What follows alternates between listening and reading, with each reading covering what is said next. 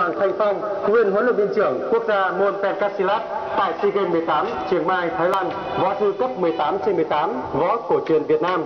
Chương trình gồm các nội dung sau đây: múa lâm, tình huống võ thuật công an nhân dân do học viên khóa K4 biểu diễn.